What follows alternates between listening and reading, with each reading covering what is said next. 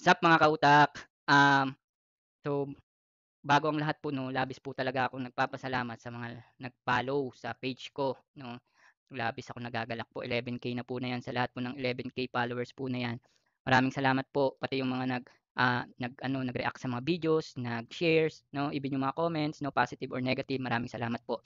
So, this video po is, ah, appreciation video rin siguro ang tawag ko dito kasi, ah, merong ano 'to, para 'to sa mga supporters. Kasi si Sir Ayan, si Sir G. Boyee, 'yan, maririnig niyo yung pangalan niya at makikita niyo yung pangalan niya kung nag-ano siya, nag tawag dito, pumayag siyang sumama sa video pero 'pag hindi, hindi ko ipapakita yung ano niya. So, ayan, so nag-message si sir sa'kin, sabi niya, "Hello kuya, puwede po bang magtanong about Excel tutorial naman paano ginagawa para 'di na nagmo-move yung picture na insert ko sa mga cell, yung kahit mag-sort ako ng details niya susunod pa rin siya, ang hindi siya gagalaw." 'No, so 'yan yung mga sagot ko sa kanya. Tapos sabi niya pa, "Oh, sige po, yun po kasi need ko everyday para mas mapadali siya, hindi ko kasi makap makapag-sort 'pag may pictures na." Yun po. So yung ano po ng ano niya, main ano niya problem, so may nagpakita po siya ng example. Makikita niyo po yung example niya kapag pumayag po siya. So 'pag wala akong nahingi sa kanya ng confirmation, hindi ko po ipapakita yan kasi baka private po.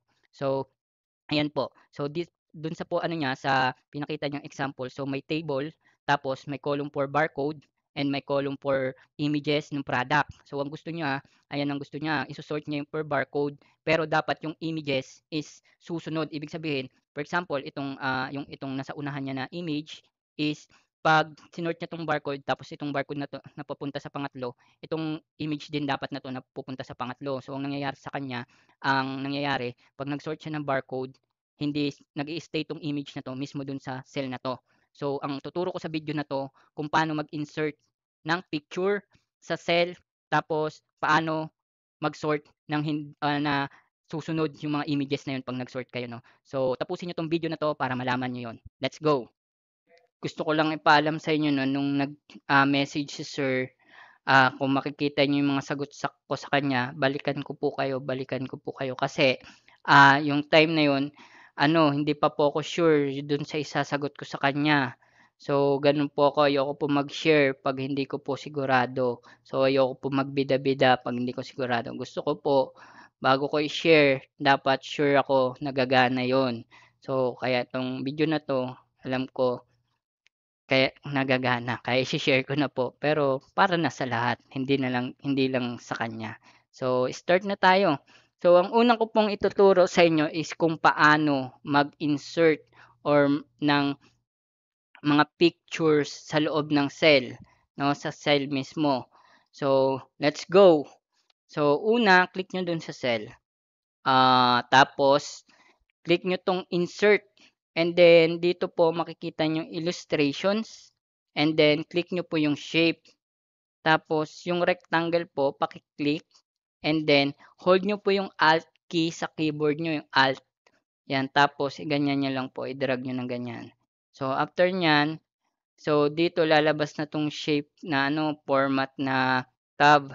So ito, click niyo lang 'to si shape fill and then picture and then ito mamimili kayo kung saan magmumula yung picture pero mas gusto ko yung mula dun sa local drive natin. So puwede po itong technique na 'to offline, 'no.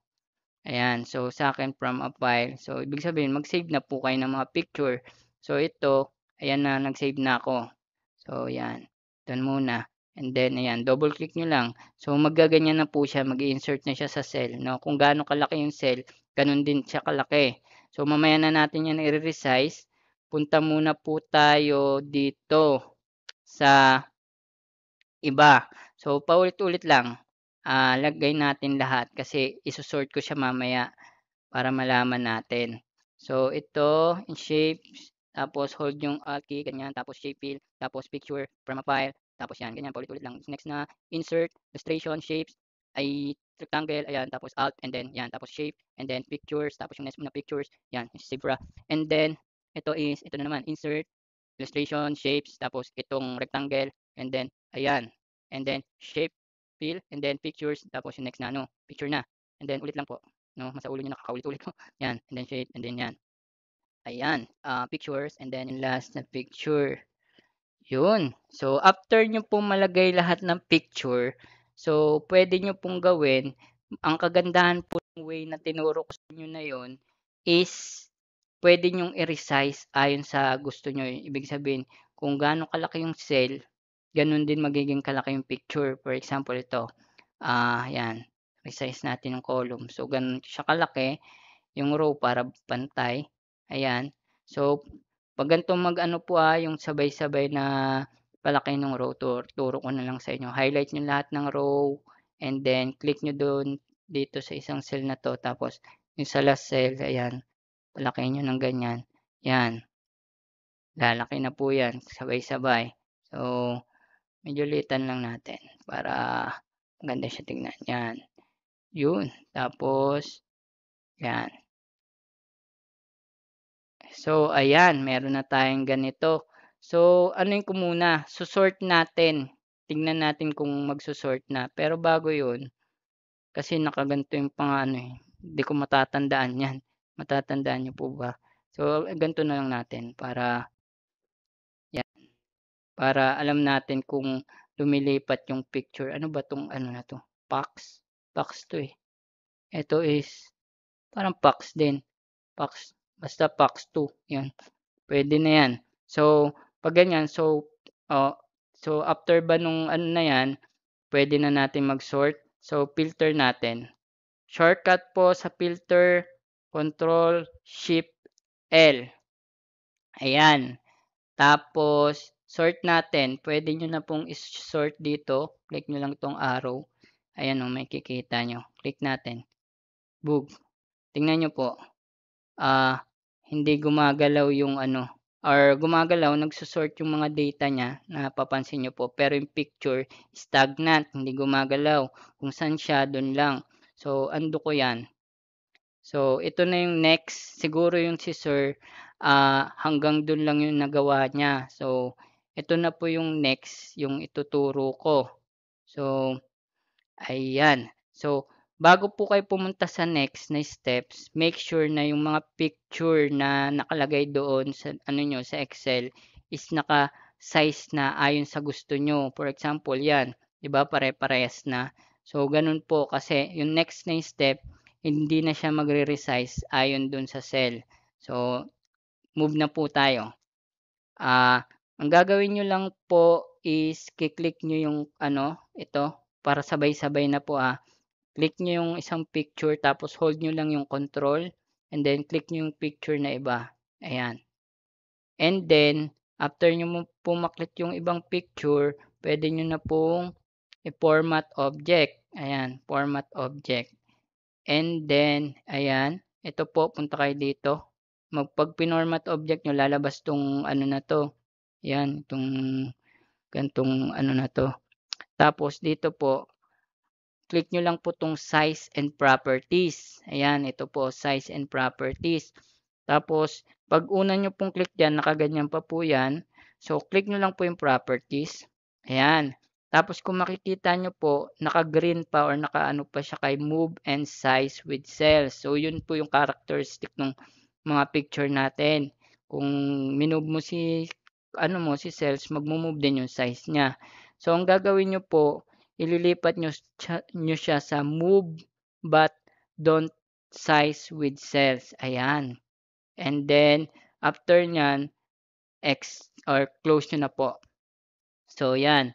So, after po nito, kung makikita niyo, ayan, oh, hindi na siya nagre-resize ayon sa, ah, sa laki ng cell. So, pero ang kagandahan na po dito, so kaya po ang gusto ko sa inyo kanina na i-resize niyo muna ayon sa gusto niyo 'no, para mas okey siya. Hindi niyo na kailangan hindi niyo na ima-manual after nung steps na ginawa natin na 'yun. So, kagandahan po dito 'pag tignan po natin 'pag sinort natin, ayan, sort A to Z.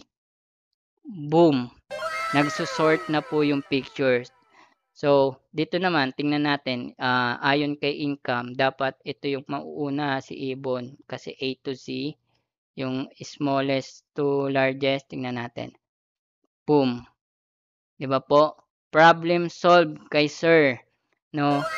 Sana po natutunan niyo 'yan. So, kung kayo po may mga katanungan, puwede niyo pong itanong pero hindi ko po igaga na masasagot ko, pero I'll try my best to study or to search for that para matulungan ko kayo.